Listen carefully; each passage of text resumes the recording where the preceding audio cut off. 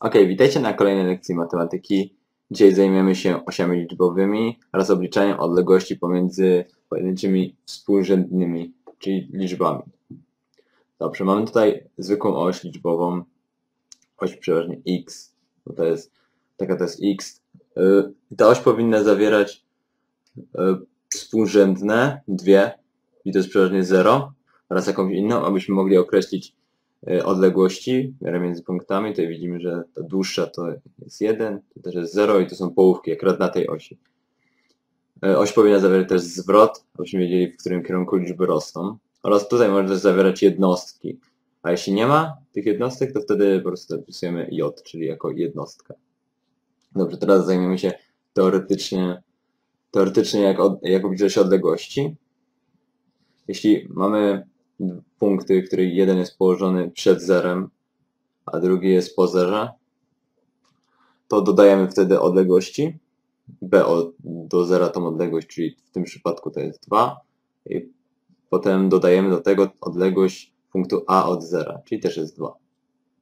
A jeśli punkty znajdują się, na przykład oba się znajdują po prawej stronie od zera, tak jak tutaj lub po lewej, to wtedy obliczamy odległość tą B od zera i potem odejmujemy od tej odległości odległość A od zera.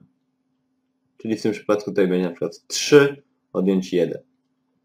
I mam wtedy 2. Czyli odległość pomiędzy od punktu A do B to jest 2.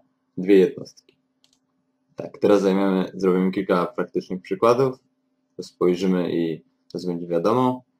O, proszę bardzo, tutaj mamy jest B, jest w odległości 2 od zera, czyli wpisujemy 2, a A jest y, półtora odległości od zera, bo tutaj mamy skalę 1, więc widać, że tu jest 1 i tu jest pół, czyli półtora. Dodajemy to do siebie, są 3,5 jednostki.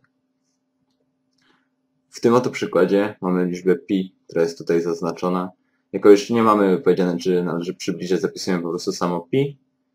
Od tego odejmujemy liczbę x.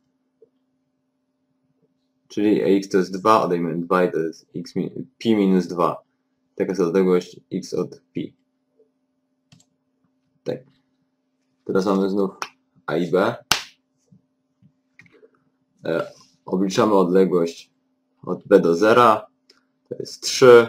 Potem odejmujemy od tego odległość a do 0, to jest 1,5. Odejmujemy pierwszą odległość od drugiej, to jest 1,5 jednostki. I tutaj ostatni przykład.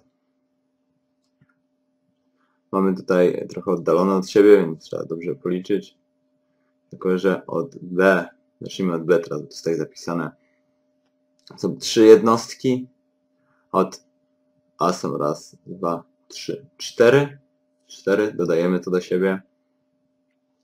I, to, I te trzy też dodajemy, to łącznie 7.